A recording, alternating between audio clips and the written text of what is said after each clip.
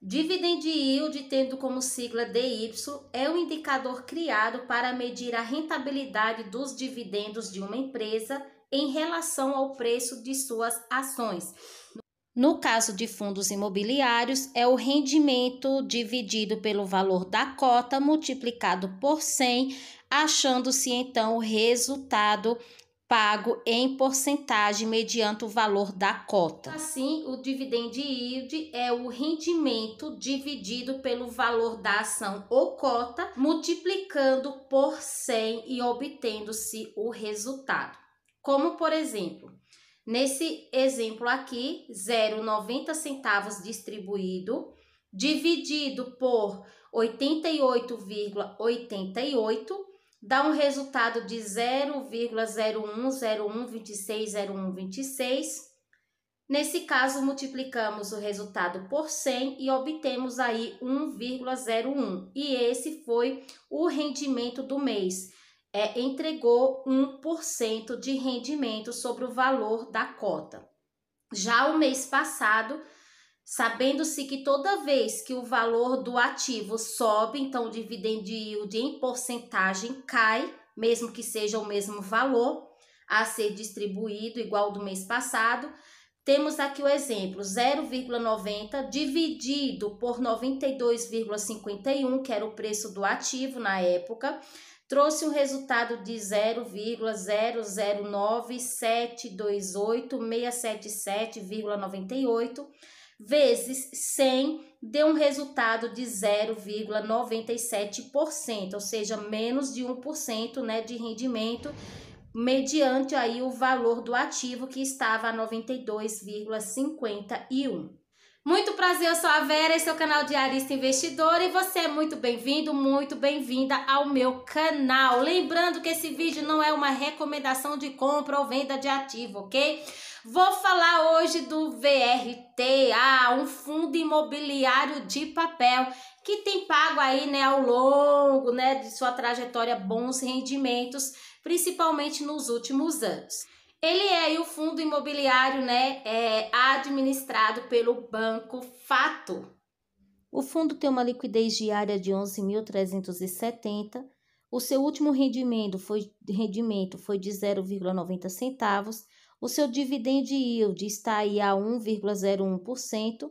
De patrimônio líquido, o fundo tem 1,4 bilhões e o valor patrimonial por cota é de 91,92 sendo que está sendo cotado nesse momento a 89,04, tá? Rentabilidade no mês é de menos 2,52%.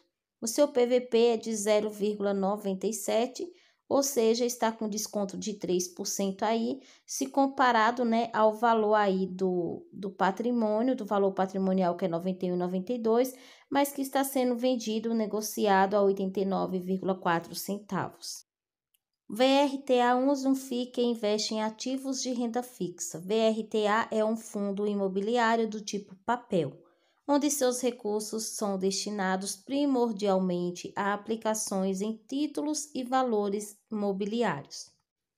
Aqui vai falar que o fundo foi constituído em março de 2010 e tem por objetivo principal a aquisição de certificados de recebíveis imobiliário, né, os famosos CRIs, né, e, no entanto, o fundo também pode obter outros títulos imobiliários como LCI, LH, cotas de FI, cotas de FDIC, cotas de fundos de investimento, classificado como renda fixa e debêntures. Uns fatos importantes aqui tem a razão social do fundo, fator veritar fundo e de investimento imobiliário FI, data da constituição do fundo 2 de março de 2010, cotas emitidas 28 milhões 941 mil 930, patrimônio líquido inicial 30 milhões 100 mil 121 reais e 94 centavos, valor inicial da cota no IPO foi de 100, ou seja, um fundo de base 100, tá? Tipo de gestão é ativa, taxa de performance não há. Tem o CNPJ, público-alvo, investidores em geral, mandato e segmento, títulos e valores imobiliários, prazo indeterminado, taxa de administração é 1% sobre o patrimônio líquido do ano, tá? Então é 1% ao ano calculado sobre todo o patrimônio líquido do fundo. Aqui dentro do site Fund Explorer, ele ainda mostra quanto em proventos, né, o fundo retornou aí no último mês, no último três meses, seis meses, nos últimos 12 meses e desde o IPO. Então, no último mês, o rendimento foi de 90 centavos, nos últimos três meses, ele entregou 2,80 por cota, em seis meses, R$ reais, em 12 meses, R$ 13,27 e desde o IPO, ele entregou R$ 143,53 centavos por cota, tá?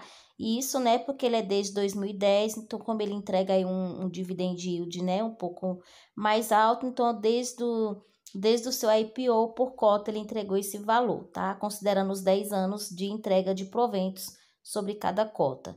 E em relação ao valor da cota em porcentagem, foi de 1,01% no último mês, 3,14% nos últimos três meses, 6,74% nos últimos seis meses, 14,90% nos últimos 12 meses e 161,21% desde o IPO, isso considerando o valor atual da cota. O site Fundo Explorer também vai trazer aqui uma simulação, né? Se você tivesse aplicado 50 mil reais, né, nos últimos 12 meses no fundo, na poupança você teria aí 50 mil 983,27 centavos. No fundo, você estaria aí, né, a 47.365,71 centavos, né? Ou seja, uma desvalorização aí, né, de menos 7,64% em comparado com a poupança. Porém, olha o que é que, os, que o gráfico, né, de 12 meses de cotação vai estar tá nos mostrando. Bom, há 12 meses atrás, né, o fundo estava aí sendo cotado a 106 reais e agora o fundo está sendo cotado né, a 89,4 centavos aí praticamente. Então a gente vai ver né, o real motivo aí da desvalorização. É claro que renda variável só perde quem vende na baixa, né?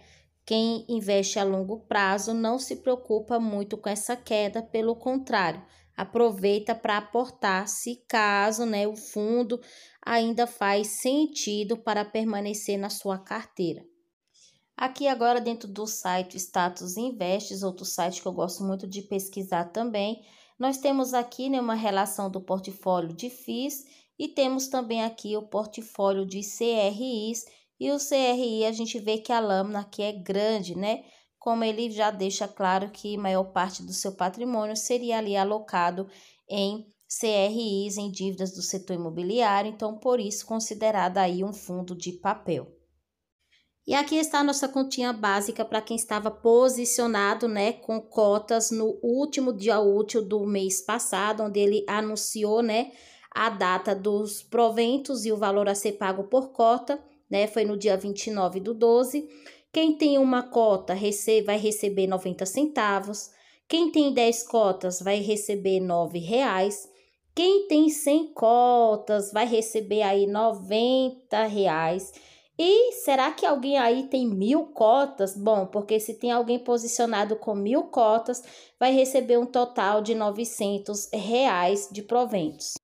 Gostou desse vídeo? Quer aprender mais sobre fundos imobiliários? Na descrição do vídeo, tá? Tem um link do e-book Primeiros Passos para investir em fundos imobiliários e viver de renda a partir de fundos imobiliários. Primeiro passo é conhecimento. Conhecimento nos leva a mais conhecimento, a mais riquezas, tá?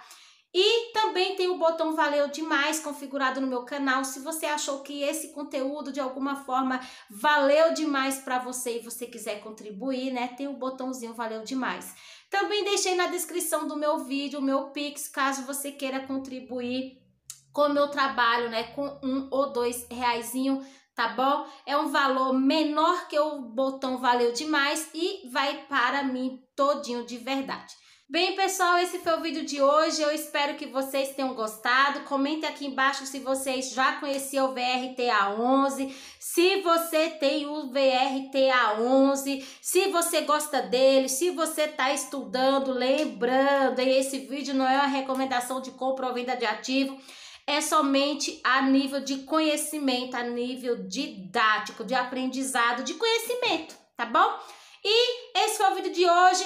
Mas não esqueça de comentar aqui embaixo. Você tem, conhece, gosta, tá estudando do VRTA 11? Conhece alguém que tem? Tchau, gente. Até a próxima que Deus abençoe as nossas vidas e os nossos investimentos também.